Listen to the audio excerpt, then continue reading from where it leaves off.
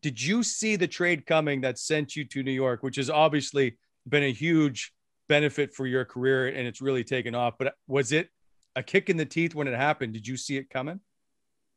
Uh, no, I didn't see it happening. Um, I heard some. I mean, rumors are everywhere, obviously, but yeah. I heard rumors from the years before that about other trades and whatnot, but I didn't hear this one, and um, obviously it was a little shock, shocking in the beginning, and and uh, took some time to to really understand.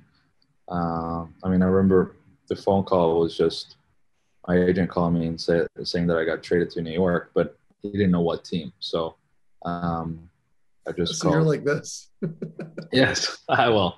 I mean, now now for looking back at it, I'm I'm super happy. But um, I had my my phone my phone died, so um, I went back. I, I, went in to make some music, and then 15 minutes later, I went to charge my phone. Checked my phone.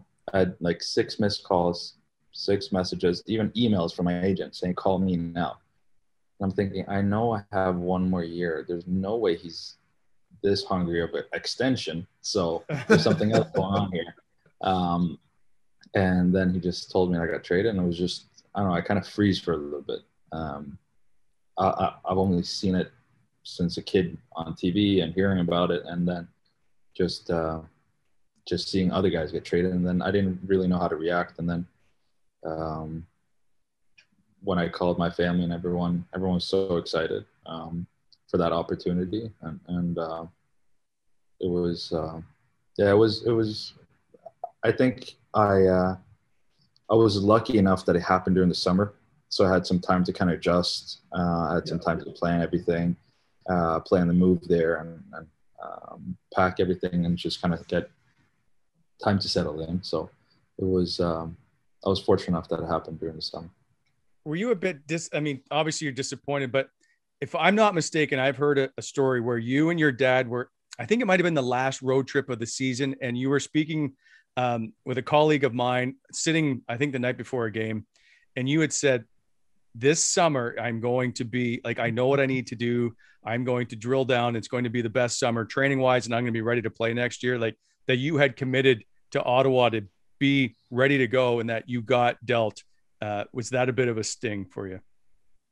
Yeah, I mean it's obviously the team draft that drafted you. You you have um, you have had so much that I'm still to this day that I'm thankful for uh, for getting the opportunity to play in the NHL, um, for getting the opportunity to getting all the help and, and coming into a team like that um, with the guys that we had in that locker room. I mean, I didn't understand it at that point um, how important it was to really bury down with the with the training and everything. I I I don't know. It was just hard hard for me to to understand. And i didn't want to be the the guy that was if he gets it or if he, he would have gotten he will be a good player. Um rather be when he gets it. So um it was it was hard obviously. And and again like you when you get drafted you you plan on plan on playing there for you want to play there for the rest of your career. And, and you want to do as as good as possible and and really prove that team that they the right decision and, and made the right choice by drafting. And when that doesn't happen, obviously it's disappointing. But but again, it happens basically to everyone. So um, I just got you know another great opportunity with New York, and, and um, it's been it's been good since then.